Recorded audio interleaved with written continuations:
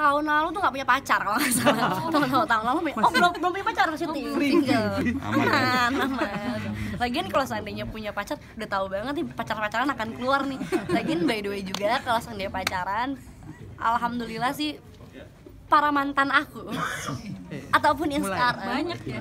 mulai mengerti eh, memang mengerti bukan mulai gitu memang mengerti kalau itu hanya sebatas pekerjaan enggak sih sebenarnya aku membiarkan kita punya dunianya masing-masing aja. Paling kalau eh, konsul-konsul cuman kayak cerita-cerita aja aduh tadi aku di lokasi kayak gini gini nih gitu aja. Enggak. Nggak punya nggak punya pacar. Udah punya pacar udah punya pacar. Yuk Mario. mana ya manajer saya? Mana ya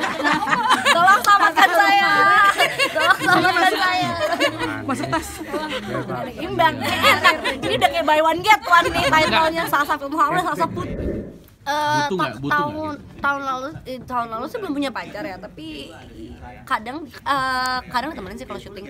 Kalau emang dia bisa datang aku nggak masalah juga sih. Eh, sebenarnya kalau aku tipikal anak yang ah, sorry aku tipikal orang yang bekerja ya aku bekerja aja. Jadi aku lebih suka kayak kalau aku lagi kerja ya udah kita masing-masing aja. Karena pacarku juga pekerja jadi kalau dia kerja ya dia kerja. Kalau aku kerja ya aku kerja. Kayak karena aku selalu nggak bukan kayak gitu juga. Aku selalu bilang em, kita punya dunia masing-masing. Dunia aku bukan cuma kamu duniamu bukan- juga bukan cuma aku gitu. Jadi ada momen di mana aku harus sama pekerjaanku aku harus sama keluargaku kamu juga begitu. Bukan udah putus.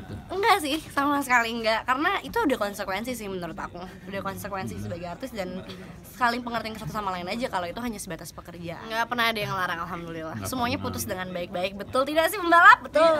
Nggak apa-apa yuk pak Oh, terima kasih